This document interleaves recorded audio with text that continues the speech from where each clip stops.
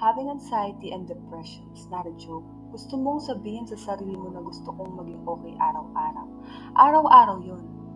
Isa lang ito sa mga katagang binitiwan ni Miss Sashna Laparan, kamakailan lang panahong nararanasan niya ang depression and anxiety.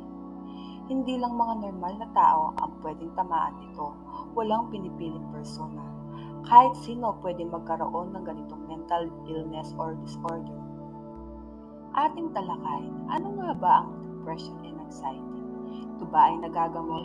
Ano nga ba ang mga paraan upang makaiwas sa ganitong uri ng karamdaman? Ang depression ay isang karaniwang karamdaman sa emosyon. Kabilang sa mga simptomas nito ay ang patuloy na mababang antas ng kasiglaan, kawalan ng interes o lakas, negatibong pag-iisip, Maaaring maging dahilan nito ay ang pag-iisip ng sobra sa nakaraan na nangyari sa isang tao o ang pagkakaroon ng trauma sa kanyang nakaraan. Ang sintomas na ito ay nakakaapekto sa pang-araw-araw na pamumuhay ng pasyente tulad ng kanilang pagtatrabaho at pakikibagay sa lipunan.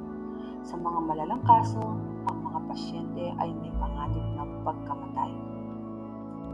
Ang tsansa na magkaroon ng depresyon ay tumataas habang nagkakaroon ng edad.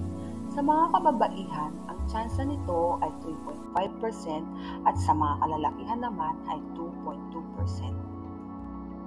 Kung ikaw ay nakakaranas nito dalawang linggo o mahigit pa at sa tingin mo ay naaapektuhan na ang iyong pang-araw-araw na pamumuhay o pagtatrabaho, huwag magdalawang isip na kumonsulta sa doktor o psychologist upang ikaw ay makatanggap ng nararapat na lunas ating talakayin ang mga paraan upang magamot ng depresyon.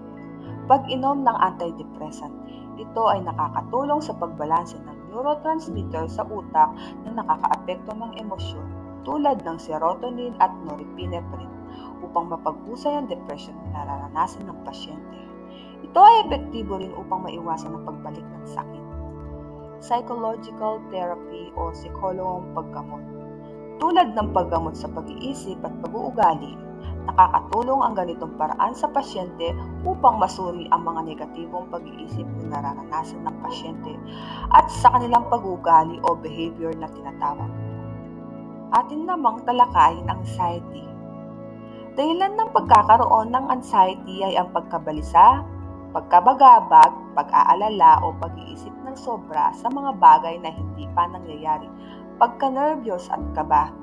Isa ito sa grupo ng karamdamang pangkaisipan o ang tinatawag na mental disorder. Mga karamdamang maaaring maranasan ng pagkakaroon ng anxiety. Isa na dito ay ang social anxiety, takot na magsalamuha sa mga tao, phobia, at ang panic attack o disorder, sobrang pagkabalisa, pagiging hyper at pagpalpitate. Kung madalas kang makaranas nito, kailangan mo nang mag pumunta sa isang espesyalista na may kaalaman sa mental health tulad ng isang psychiatrist. Maraming paraan upang magamot ang anxiety, tulad ng pag-inom ng mga tableta o ang tinatawag na oral medication na nireseta ng iyong psychiatrist at ang psychotherapy, lalo na ang CBT o ang tinatawag na cognitive behavioral therapy.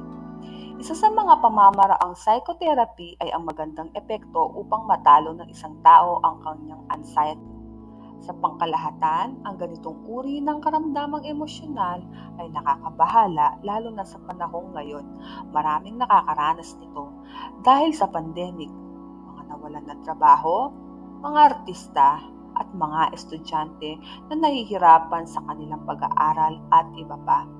Malaki ang naiaambag ng mga taong nasa paligid nito. Isa sa mabisang pamamaraan ay ang pagkumusta sa kanila, pagpapakita ng pag-iintindi, pangunawa, pagmamahal at higit sa lahat ang pagdadasal.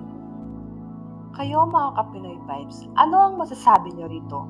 Para sa inyong reaksyon, huwag kalimutang mag-comment at mag-message sa aming official Pinoy Vibes account.